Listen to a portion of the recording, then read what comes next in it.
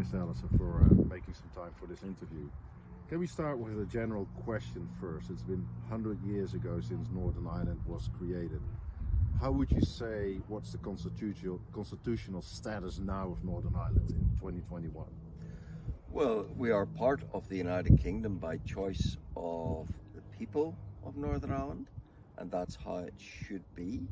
Uh, sadly, that choice has been undermined by the iniquitous protocol that the EU has put upon us, whereby, unlike the rest of the United Kingdom, though we joined the EU as one nation, we have not been allowed to leave as one nation, and instead Northern Ireland has been held hostage by the protocol within the EU's single market, subject to the EU's customs code, and it's the EU VAT regime, all of which means that now many of the laws which govern our economy in particular are made not in Belfast nor in London, but in the foreign jurisdiction of the EU and made by those we do not elect, laws which are made over which we have no say, no opportunity to amend, no opportunity uh, to frame to suit our own circumstances.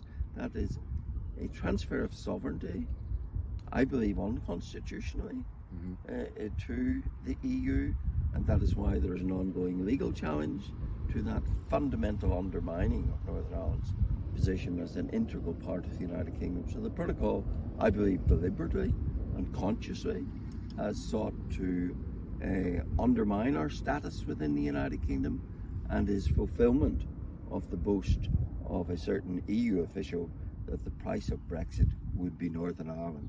Such was the punitive attitude of the EU towards the democratic decision of the people of, of the United Kingdom to leave the EU. Yeah. So, in this centenary year, is that a year of celebration for Unionists or a year of concern then? Well, it's, it's both. It's celebration of the fact that Northern Ireland uh, continues after 100 years as one of the four nations of the United Kingdom. Of course, it should be remembered that Northern Ireland and uh, the rest of the United Kingdom have been politically and economically united for centuries. And indeed, we can go back to the Acts of Union of 1800 to find the formal a, a constitutional position of this part, uh, uh, what continues to be this part of Ireland within the United Kingdom. And so, yeah, we celebrate that. And in celebrating that, we celebrate the will of our people. And what is more democratic than that? Than celebrating that the will of the people which created Northern Ireland as a continuing part of the United Kingdom has been honoured for these hundred years. But what equally is more disconcerting than the fact that that will has been consciously and deliberately undermined by the iniquitous protocol. Can you explain to a Dutch audience who's maybe not as well versed in the politics and history of Northern Ireland why the protocol is such a concern and that, that it, especially for unionists it goes deeper than just empty supermarket shelves or obstacles in trade? Well, if the people of Holland decided, uh, and I would say it would be in their wisdom, but be a matter entirely for them, but if the people of Holland decided to leave the EU, uh, but one of the uh, parts of Holland was left behind, with its laws no longer made in Holland, but made in Brussels. Then I think the people who lived in that part of Holland might begin to understand the resentment and indeed the anger that exists in this part of the United Kingdom that we have been left behind, uh, uh, having made, been part of a collective national decision to leave the EU, and that we have, in those circumstances, been denied Brexit.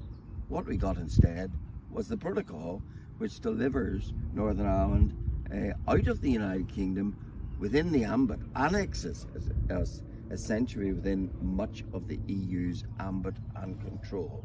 And that is so undemocratic, so antithetical to our position within the United Kingdom that it is rightly causing resentment and anger.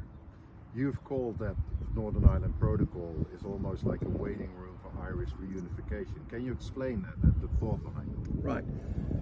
What the protocol does is to cut us off from our main economic market, which is Great Britain, as the, the, the, part of the world to which we sell most of our goods and which we attain most of our goods. And what the protocol does, it fetters that trade by putting in place all the custom, all the custom and single market rules which result from treating GB as a third country, as a foreign place. Uh, and therefore, that diminishes our economic links and our opportunities for economic prosperity. And what it does is it seeks to orientate us away from that natural market that is GB and to force us to orientate towards the Irish Republic in the belief, I say, that they think that that will ultimately produce a parallel political alignment away from London to Dublin and help create the circumstances for Irish unification, even though that is not something that the people of Northern Ireland as a whole seek or embrace. I, I think it's working on the template of the EU itself. The EU was formed, uh, and the, the very core of its very first treaty was to obtain ever closer union. How was that ever closer political union to be attained? It was to be attained by ever closer economic union. And it's the same template. How do you achieve Irish unification under the protocol by ever closer economic union within the island of Ireland by bo- boasting the all island economy while you diminish and jettison the United Kingdom attachment and economy on the belief, in the belief that it is then a relatively short step from economic unity to political unity.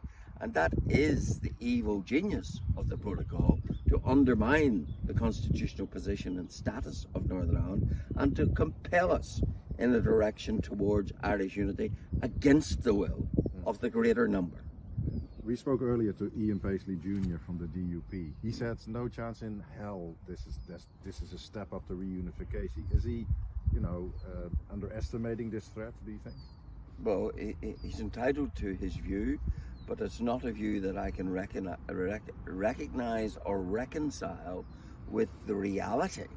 If you take a part of the United Kingdom and say to it, your laws will not be made within the United Kingdom, they'll be made elsewhere in order to coordinate you with and align you with the rest of the island of Ireland, so you're under the same single market rules, the same customs code rules, the same VAT regime rules, then it's abundantly clear to me that you're creating the ethos and the incentive for Irish economic unity. And it is but a short step from that to political unity. Is unionism divided in Northern Ireland? Unionism has united greatly, to my encouragement, around the legal challenge to the protocol, which is challenging the very uh, substance of the protocol and saying it conflicts so fundamentally with the acts of union that made us part of the United Kingdom, mm. uh, which guaranteed us unfettered trade, that you traded freely and equally across and throughout the United Kingdom.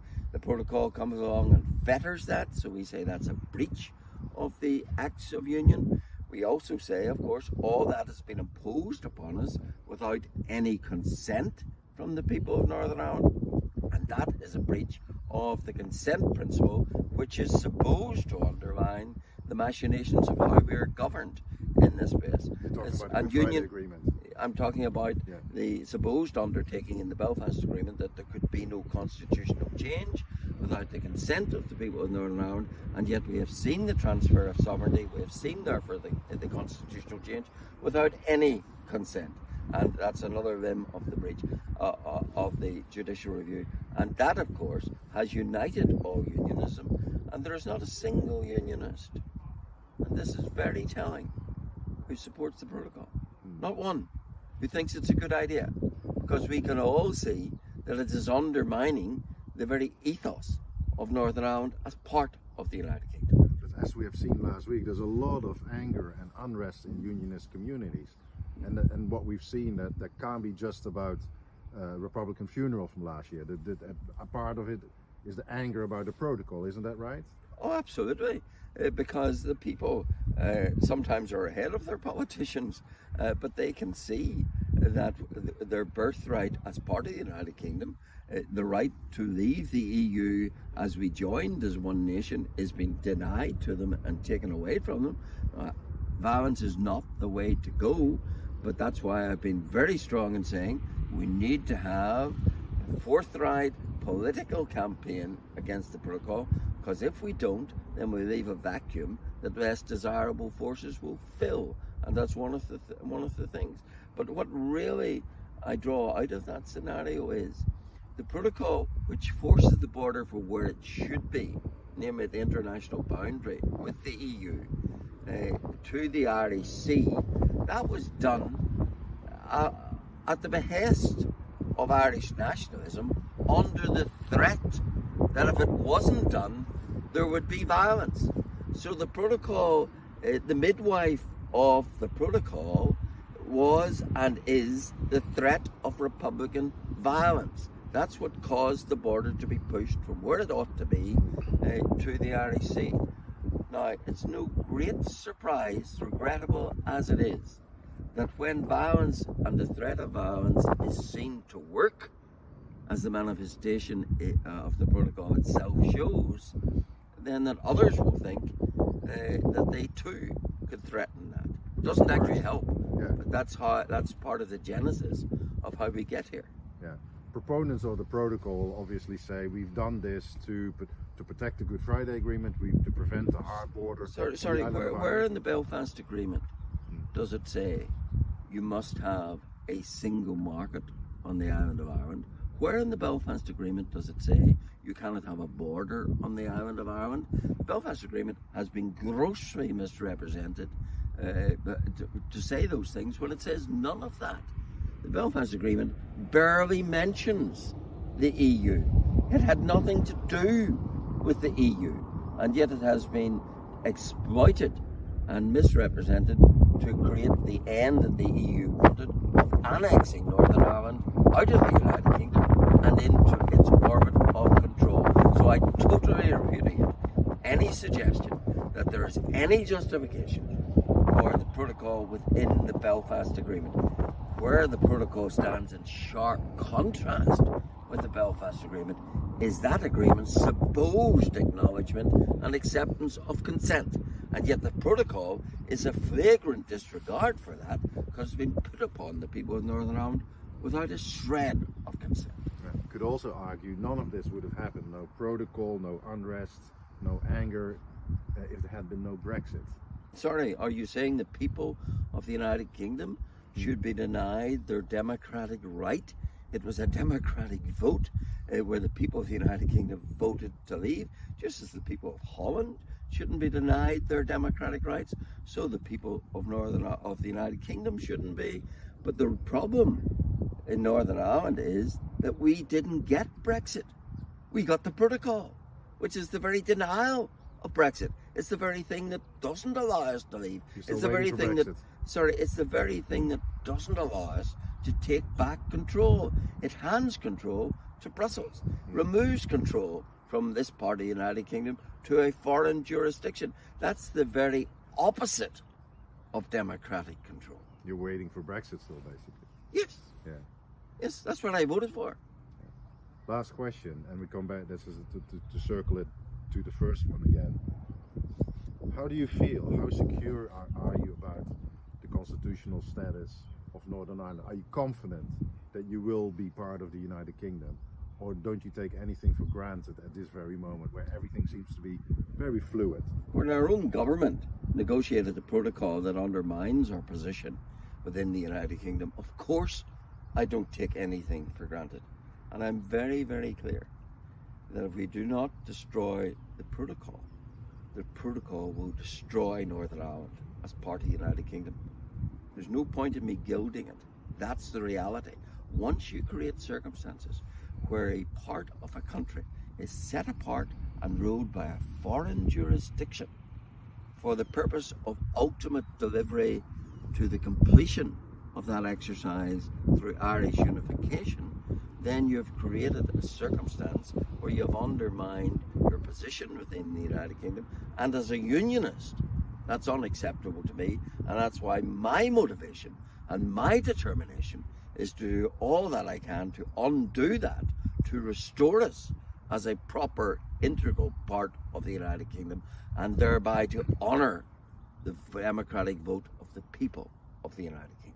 Do you feel betrayed by Boris Johnson, who's the leader of the Conservative and Unionist Party? On the protocol, yes. You don't trust him anymore in, in that sense? I doubt if I ever trusted him, but certainly the protocol is a demonstration of why he ought not to be trusted. Because, yes, he's the man who told us Yeah. no British Prime Minister could ever do what he did. That you could never have a border in the Irish Sea, yet he delivered it. Course, I don't trust him. Yeah. But I do trust the people of Northern Ireland. Thank you so much. Thank you.